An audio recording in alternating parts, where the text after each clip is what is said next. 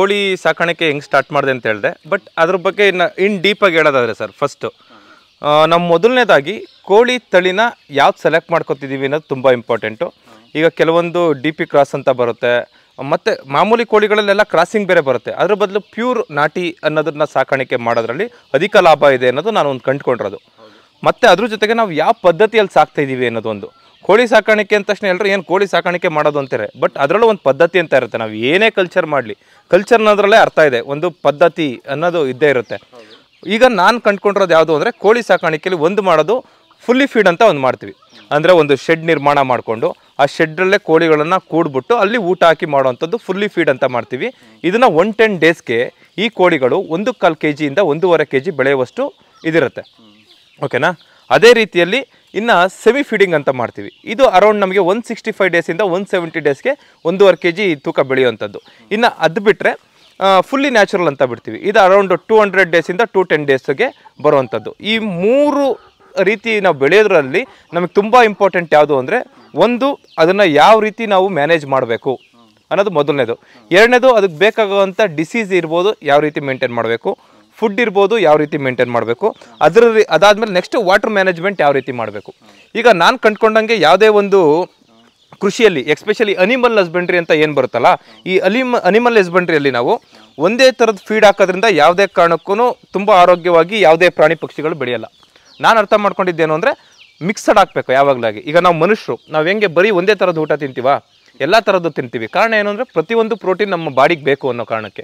ಅದೇ ರೀತಿ ಇದೇ ನಮ್ಮ ಕೋಳಿಗಳಿಗೆ ಎಲ್ಲ ರೀತಿಯ ಪ್ರೋಟೀನ್ ಬೇಕೇ ಬೇಕು, ಇದಕ್ಕೂ ಕೂಡ. ಸೊ ಹಾಗಾಗಿ ನಾನೇನು ಮಾಡ್ತೀನಿ ಯೂಶ್ವಲಿ ನಾವು ಹಿಂಡಿ ಹಾಕ್ತೀವಿ, ಅದು ವಾಟ್ರಲ್ಲಿ ಹಾಕ್ತೀನಿ ನಾನು. ವಾಟ್ರ್ ಜೊತೆಗೆ ಹಿಂಡಿನ ಕಲಿಸ್ಬಿಟ್ಟು ಹಾಕೋದು ಒಂದು.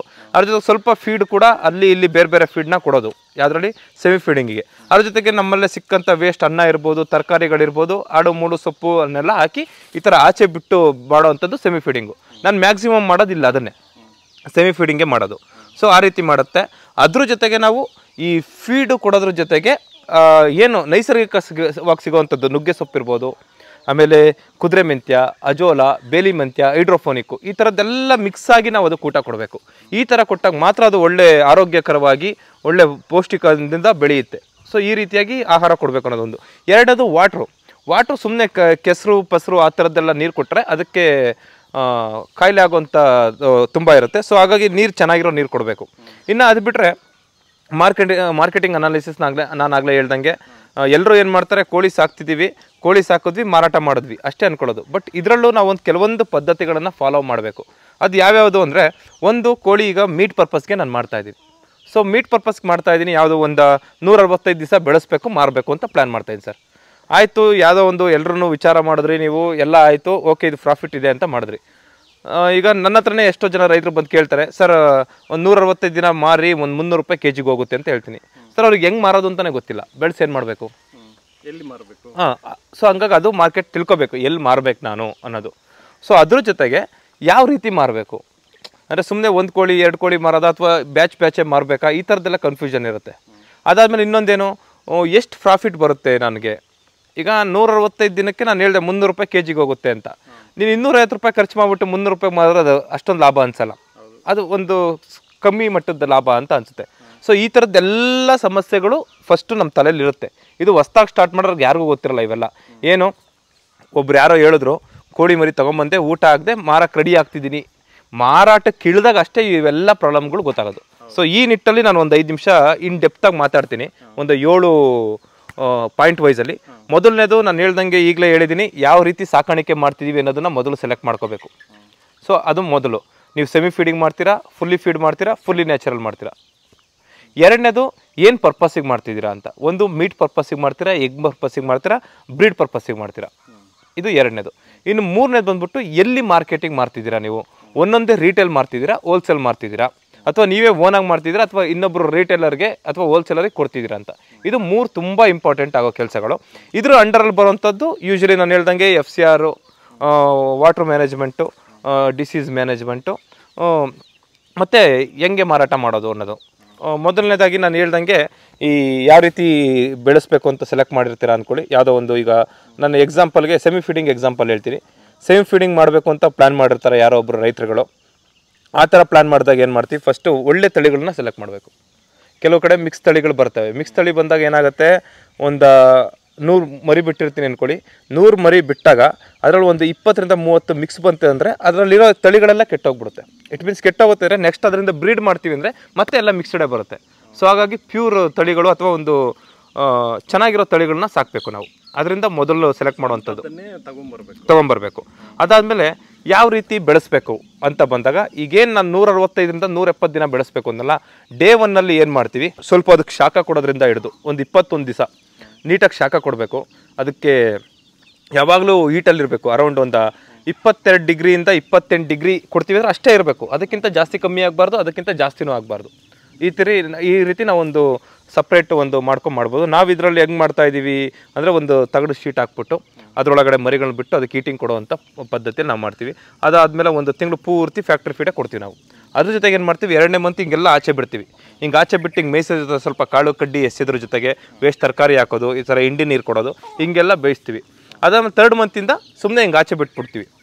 ಇನ್ನು third month fourth month fifth month ಸುಮ್ಮನೆ ಹಿಂಗೆ ಓಟಾಡಿಕೊಂಡು ಇಲ್ಲಿ ಸಿಗೋವಂಥ ಮೇವನ್ನು ತಿಂದು ಬೆಳೆಯುವಂಥದ್ದಾಗುತ್ತೆ ಈಗ ಇದನ್ನು ಆಲ್ಮೋಸ್ಟ್ ಒಂದು ಫಿಫ್ತ್ ಮಂತಿಗೆ ಇದು ಬಂತು ಅಂದರೆ ಮುನ್ನೂರು ರೂಪಾಯಿ ಕೆ ಜಿಯಿಂದ ಮುನ್ನೂರೈವತ್ತು ರೂಪಾಯಿ ಕೆ ಜಿಂಗೆ ಆರಾಮಾಗಿ ಸೇಲ್ ಆಗುತ್ತೆ.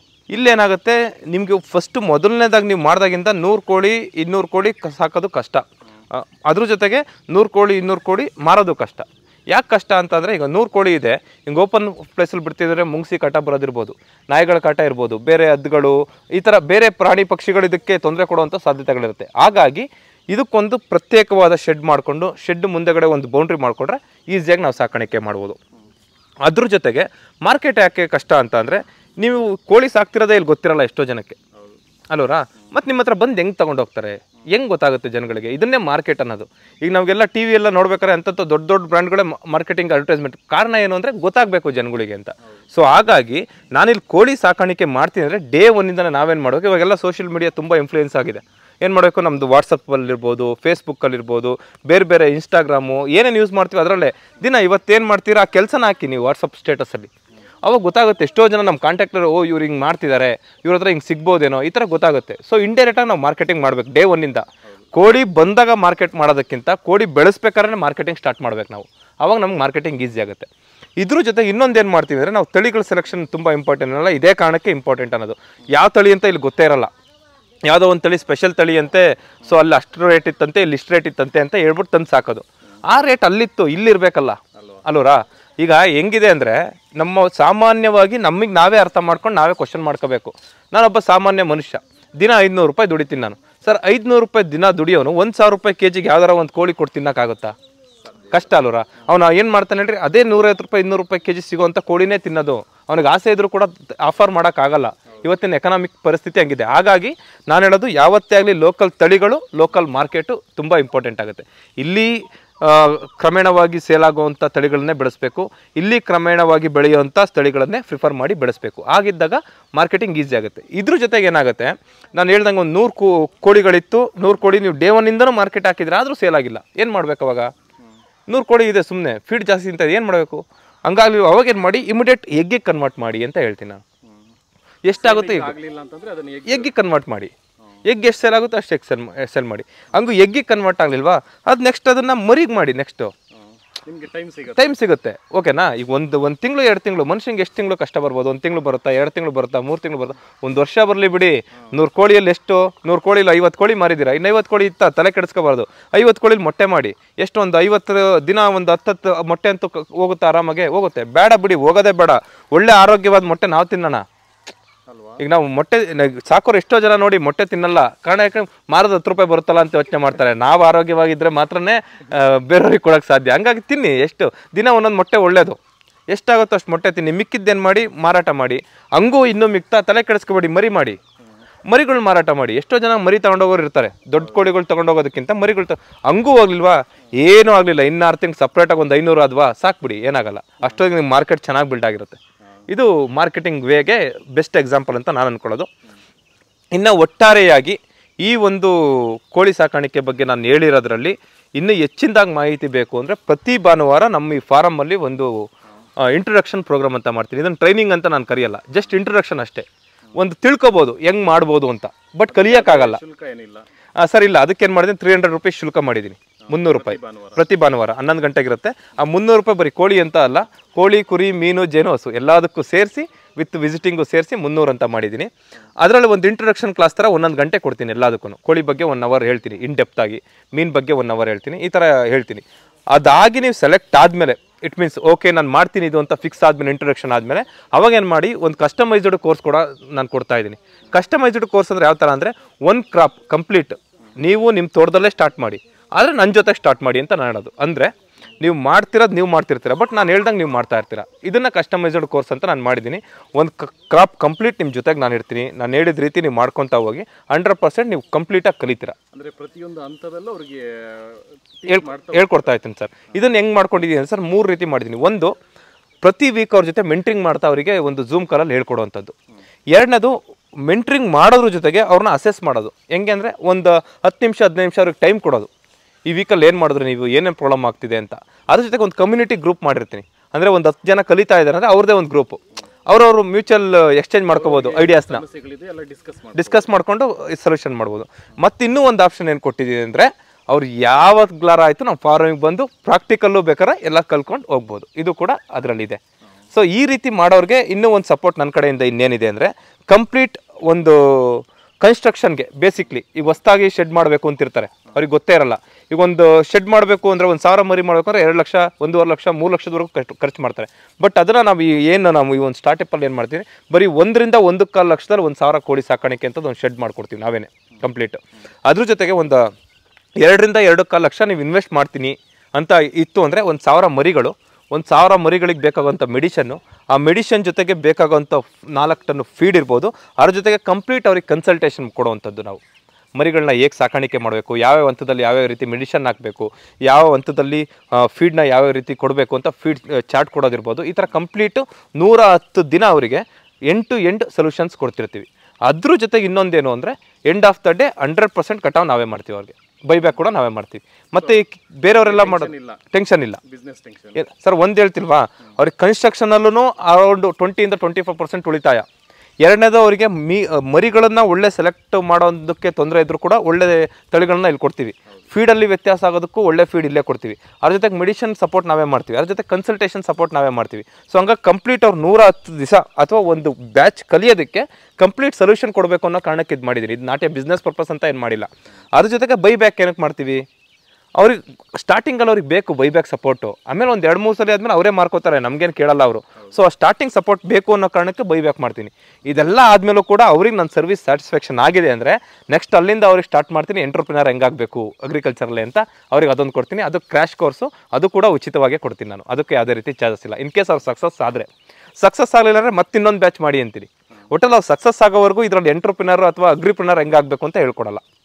ಈಗ ಒಬ್ಬ ವ್ಯಕ್ತಿ ಕೋಳಿ ಸಾಕಾಣಿಕೆ ಮಾಡಬೇಕು ಅಂದರೆ ನಿಮ್ಮ ಹತ್ರ ಬಂದರೆ ಸೊ ಫ್ರಮ್ ಸ್ಕ್ರಾಚ್ ಇಂದ ನೀವೆಲ್ಲ ಹೇಳ್ಕೊಡ್ತೀವಿ ಕಂಪ್ಲೀಟು ಯಾವುದೇ ರೀತಿ ರೂಲ್ಸ್ ರೆಗ್ಯುಲೇಷನ್ಸ್ ರೆಸ್ಟ್ರಿಕ್ಷನ್ ಏನೂ ಇಲ್ಲ ಸರ್ ಅವ್ರಿಗೆ ಇಷ್ಟ ಬಂದಂಗೆ ಮಾಡೋವಂಥದ್ದು ನಾನು ಇಲ್ಲೇನೂ ರೂಲ್ಸ್ ಇಲ್ಲ. ಏನಂದರೆ ಕೆಲವರು ಹೇಳ್ತಾರೆ ಹೆಂಗೆ ನೀವು ಕಂಪ್ಲೀಟ್ ಮರಿ ನಮಗೆ ಕೊಡಬೇಕು. ಅಥವಾ ಇಷ್ಟು ವೆಯ್ಟ್ ಇದ್ರೆ ತಗೊತೀನಿ ಅಥವಾ ಇಷ್ಟಿದ್ರೆ ತಗೋತೀನಿ ನನ್ನ ಹತ್ರ ಏನೂ ಇಲ್ಲ ಸರ್ ನಿಮ್ಮ ಸ್ಟ್ರಾಟಜಿ ಅಲ್ವಾ ಕೆಲವೊಂದಿರುತ್ತೆ ನಮ್ದಿಲ್ಲ ಸರ್ ನಾನು ನೂರು ಮರಿ ಕೊಟ್ಟಿದ್ದೀನಿ. ನೀವು ನೂರು ಮರಿಲಿ ಎಂಬತ್ತು ಮರಿ ಆಚೆ ಮರಿ ಇಪ್ಪತ್ತು ಮರಿ ಕೊಡ್ತೀರಾ ಕೊಡಿ ನನಗೆ ವಾಪಸ್ಸು. ಇಲ್ಲ ಐವತ್ತು ಮಾರು ಐವತ್ತು ಕೊಡ್ತೀರಾ ಕೊಡಿ. ಇಲ್ಲ ನೂರು ನನಗೆ ಕೊಡ್ತೀರಾ ಕೊಡಿ. ನೂರು ಅವ್ರಿಗೆ ಮಾರ್ತೀರಾ ಮಾರಿ. ನನ್ನ ಏನೂ ರಿಸ್ಟ್ರಿಕ್ಷನ್ಸ್ ಇಲ್ಲ. ನನಗಿರೋದೇನು ಅಂದರೆ ಅವ್ರು ಕಂಪ್ಲೀಟಾಗಿ ಕಲಿಬೇಕು ಅನ್ನೋದು ಒಂದೇ ಉದ್ದೇಶ ನನಗಿರೋದು. ಧ್ಯೇಯ ಏನು ಅಂದರೆ ಅವ್ರು ಕಲ್ತಾದ್ಮೇಲೆ ಇನ್ನೊಂದು ಹತ್ತು ಜನ ಕ- ಹೇಳ್ಕೊಡ್ಲಿ ನಂತರ ಅನ್ನೋದು ಅಷ್ಟೇ. ಈ ಎರಡರಿಂದನೇ ನಾನು ಇದನ್ನು ಸ್ಟಾರ್ಟ್ ಮಾಡಿರೋದು. ಸೊ ನಿಮ್ಗೆ ನೋಡಿದ ಮಟ್ಟಿಗೆ ಈ ನಾಟಿ ಕೋಳಿಯಲ್ಲಿ ಯಾವ ಕೋಳಿ ತುಂಬಾ ಉತ್ತಮ ಸಾಕಾಣಿಕೆ ಮಾಡಕ್ಕೆ? ಸರ್ ಅದೇ ನಾವು ಏನು ಊರು ಕೋಳಿ ಅಥವಾ ಕಾಡು ಕೋಳಿ ಅಂತ ಏನು ಕರಿತೀವಲ್ಲ ಅದೇ ಇದು. ಇನ್ನು ನಾನು ಬೇರೆ ಇದರಲ್ಲೂ ಉತ್ತಮ ಅಂತ ಇದೆ ಕೆಲವೊಂದೇನು ಬಟ್ ಕ್ರಾಸಿಂಗ್ ಇದ್ರೆ ಅಷ್ಟೊಂದು ಪ್ರಿಫರಬಲ್ ಅಲ್ಲ ಅದು. ಪ್ಯೂರ್ ಇರಬೇಕು. ಪ್ಯೂರ್ ಇದ್ರೆ ಅದು ಪ್ರಾಫಿಟ್ ಇದ್ದೇ ಇರುತ್ತೆ. ನೋಡಿ ನೀವು ಹಂಗಂದ ತಕ್ಷಣ ಯಾವ್ದು ಉತ್ತಮ ಅಂದ ತಕ್ಷಣ ಅಂದೆ ನನಗೆ ಹೇಳಿದೆ ನಾನು. ಈಗ ಒಂದು ಕಾಲು ಲಕ್ಷ ಶೆಡ್ಗಿರ್ಬೋದು ಇದಕ್ಕೊಂದು ಎರಡು ಕಾಲು ಲಕ್ಷ ಹತ್ತತ್ರ ಎಷ್ಟಾಯಿತು? ಒಂದು ಕಾಲು ಎರಡು ಕಾಲು ಅಂದರೆ ಒಂದು ಮೂರುವರೆ ಲಕ್ಷ. ಮೂರಿಂದ ಮೂರುವರೆ ಲಕ್ಷ ಇದ್ದರೆ ಒಂದು ಸಾವಿರ ಕೋಳಿ ಸಾಕಾಣಿಕೆ ಮಾಡ್ಬೋದು ಅವರು. ಇದು ಪ್ರಾಫಿಟ್ ಎಷ್ಟು ಬರುತ್ತೆ ಅಂತ ಹೇಳಿದಾರೆ ನಾನು. ಒಂದು ಸಾವಿರ ಕೋಳಿ ಕರೆಕ್ಟಾಗಿ ಅವ್ರು ಸಾಕಿದ್ರೆ ನೂರ ಹತ್ತು ದಿನ ಮೇಯಿಸ್ಬಿಟ್ರೆ ನನ್ನ ಕಡೆಯಿಂದ ಕನ್ಸಲ್ಟೇಷನ್ ತೊಗೊಂಡು ಗೈಡ್ಲೈನ್ಸ್ ತೊಗೊಂಡು ಮಾಡ್ತೀವಿ ಅಂತಂದರೆ ನಾನು ಹಂಡ್ರೆಡ್ ಪರ್ಸೆಂಟ್ ಗ್ಯಾರಂಟಿ ಕೊಡ್ತೀನಿ ಒಂದು ಲಕ್ಷ ಉಳಿಸ್ಬೋದು. ಒಂದು ಒಂದು ಬ್ಯಾಚ್ಗೆ ಒಂದು ಬ್ಯಾಚ್ ನೂರ ಹತ್ತು ದಿನಕ್ಕೆ. ಒಂದು ಸಾವಿರಕ್ಕೆ ಒಂದು ಲಕ್ಷ ಹಂಡ್ರೆಡ್ ಪರ್ಸೆಂಟ್ ಉಳಿಸ್ಬೋದು. ನಾನು ಅಷ್ಟೇ ಹೇಳ್ಕೊಡ್ತೀನಿ ಅವ್ರಿಗೆ. ಇನ್ ಕೇಸ್ ಏನಾರು ಅವ್ರಿಗೆ ಹೆಚ್ಚು ಕಮ್ಮಿ ಆಗಿ ಈಗ ನನಗೆ ಇಷ್ಟೆಲ್ಲ ದುಡ್ಡು ಕೊಟ್ಟಿರ್ತಾರೆ ಸರಿನಾ? ಒಂದು ಲಕ್ಷ ಅವ್ರಿಗೆ ಪ್ರಾಫಿಟ್ ಬರಲ್ವಾ ನಾನು ಹಂಡ್ರೆಡ್ ಪರ್ಸೆಂಟ್ ಅವ್ರಿಗೆ ಗ್ಯಾರಂಟಿ ಕೊಡ್ತೀನಿ. ಬೇಕಾದ್ರೆ ವಿತ್ ಅಗ್ರಿಮೆಂಟ್ ಬೇಕು ಅಂದ್ರೆ ಕೊಡ್ತೀನಿ. ನೆಕ್ಸ್ಟ್ ಅವ್ರು ಏನು ಸ್ಟಾರ್ಟ್ ಮಾಡ್ತಾರಲ್ಲ, ಅದ್ರಲ್ಲಿ ಕಂಪ್ಲೀಟ್ ಇಪ್ಪತ್ತೈದು ಪರ್ಸೆಂಟ್ ಡಿಸ್ಕೌಂಟ್ ಮಾಡ್ಕೊಟ್ಬಿಡ್ತೀನಿ ಅವ್ರಿಗೆ. ಇಟ್ ಮೀನ್ಸ್ ಅವ್ರಿಗೆ ಸ್ವಲ್ಪ ಮರಿಗಳು ನನ್ನ ಕಡೆಯಿಂದ ಉಚಿತವಾಗಿ ಕೊಡುವಂಥದ್ದು. ಯಾಕೆಂದ್ರೆ ಅವ್ರು ಲಾಸ್ ಆಗಿದ್ರೆ ನಮ್ಗೆ ಅದು ಸ್ಯಾಟಿಸ್ಫ್ಯಾಕ್ಷನ್ ಅನ್ಸಲ್ಲ. ಹಂಡ್ರೆಡ್ ಪರ್ಸೆಂಟ್ ಲಾಸ್ ಆಗೋದಕ್ಕೆ ನಾವು ಬಿಡಲ್ಲ. ಯಾಕಂದ್ರೆ ಅದಕ್ಕೆ ಬೇಕಾಗುವಂಥ ಒಂದು ಸ್ಟಾಫ್ ವ್ಯವಸ್ಥೆ ಎಲ್ಲ ಮಾಡ್ಕೊಂಡಿದ್ದೀವಿ ಅದಕ್ಕೆ ಅಂತಾನೆ ವರ್ಕ್ ಮಾಡ್ತಾ ಇದ್ದೀವಿ ಸೊ ಹಂಗಾಗಿ ಯಾವುದೇ ಕಾರಣಕ್ಕೂ ಲಾಸ್ ಆಗಲ್ಲ. ಇನ್ ಕೇಸ್ ಲಾಸ್ ಆದರೂ ಕೂಡ ನಾನು ಏನು ಒಂದು ಬ್ಯಾಚಿಗೆ ಅವ್ರಿಗೆ ಮರಿಗಳು ಕೊಟ್ಟಿರ್ತೀನಲ್ಲ ಆ ಮರಿಯಲ್ಲಿ ಇಷ್ಟು ಪರ್ಸೆಂಟ್ ಒಂದು ಇಪ್ಪತ್ತು ಪರ್ಸೆಂಟಿಂದ ಇಪ್ಪತ್ತೈದು ಪರ್ಸೆಂಟ್ ಮರಿಗಳನ್ನ ಉಚಿತವಾಗಿ ಕೊಟ್ಬಿಡ್ತೀನಿ ನಾನು. ಅವರು ಮತ್ತೆ ನೆಕ್ಸ್ಟ್ ಸ್ಟಾರ್ಟ್ ಮಾಡಿ ಸರಿ ಮಾಡಿಕೊಳ್ಳಿ ಅನ್ನೋ ಕಾರಣಕ್ಕೆ. ಈ ಥರ ಇದೆ.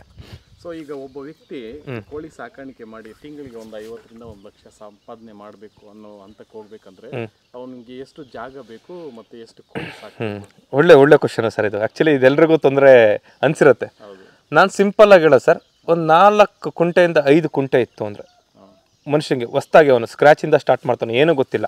ಅನ್ಕಂಡೀಷನಾಗಿ ಒಂದು ವರ್ಷ ಇರ್ತೀನಿ ಅನ್ನೋದು ಅವ್ನು ಡಿಸೈಡ್ ಆಗಬೇಕಷ್ಟೇ ನಾನು ಹೇಳೋದು. ಒಂದು ವರ್ಷ. ಒಂದು ವರ್ಷ. ಪ್ರಾಫಿಟ್ ಬರುತ್ತೋ ಬಿಡುತ್ತೋ ಗೊತ್ತಿಲ್ಲ ಕಲಿತೀನಿ ಅಂತ ಬರಲಿ.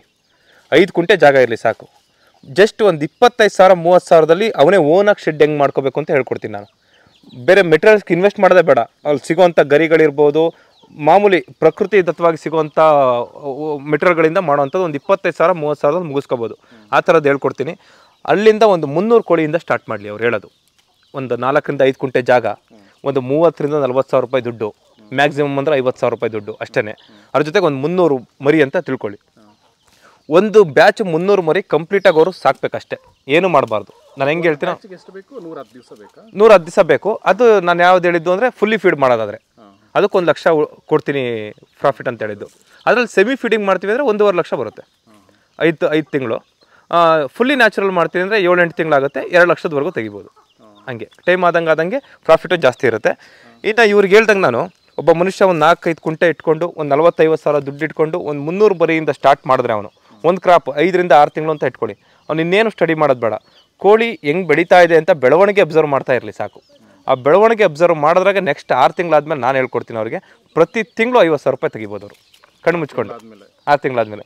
ಹೆಂಗೆ ಅಂತ ಸಿಂಪಲ್ಲಾಗಿ ಹೇಳ್ತೀನಿ ಕೇಳಿ. ಇದರಲ್ಲಿ ಸುಮ್ಮನೆ ವಿಡಿಯೋದಲ್ಲಿ ಹೇಳ್ತಾರೆ ಅದೆಲ್ಲ ಸಾಧ್ಯ ಇಲ್ಲ ಅಂತಾರೆ. ಈಗ ನಾನು ಹೇಳ್ತಿದ್ದೀನಿ ಇದನ್ನು ನೀವು ಟ್ರೈ ಮಾಡಿ ನೋಡಿ. ಸಾಧ್ಯ ಆಗಿಲ್ಲ ಅಂದಾಗ ಅವಾಗ ಬೇಕಾದ್ರೆ ಕ್ವಶನ್ ಮಾಡಿ. ಮುನ್ನೂರು ಮರಿ ಸಾಕಿದ್ದೀನಿ ಸರ್ ಇವಾಗ. ಒಂದು ಮರಿಗೆ ಇವತ್ತಿನ ಮಾರ್ಕೆಟಲ್ಲಿ ಹೇಳ್ತಿರೋದು ನಲ್ವತ್ತರಿಂದ ನಲ್ವತ್ತೈದು ರೂಪಾಯಿ ಇದೆ. ಬಟ್ ಐವತ್ತು ರೂಪಾಯಿ ಅಂತ ಇಟ್ಕೊಳ್ಳೋಣ ಸರ್, ಒಂದು ಮರಿಗೆ. ಸರಿನಾ? ಒಂದು ಮರಿಗೆ ಐವತ್ತು ರೂಪಾಯಿ ಆದರೆ ಮುನ್ನೂರು ಮರಿಗೆ ಎಷ್ಟಾಯಿತು ಸರ್? ಹದಿನೈದು ಸಾವಿರ ಆಯಿತು. ಸರಿನಾ? ಸರ್, ಐದು ಸಾವಿರ ರೂಪಾಯಿ ಒಂದು ತಿಂಗಳಿಗೆ ಮೇಂಟೆನೆನ್ಸ್ಗೆ ಅಂತ ಇಟ್ಕೊಳ್ಳೋಣ.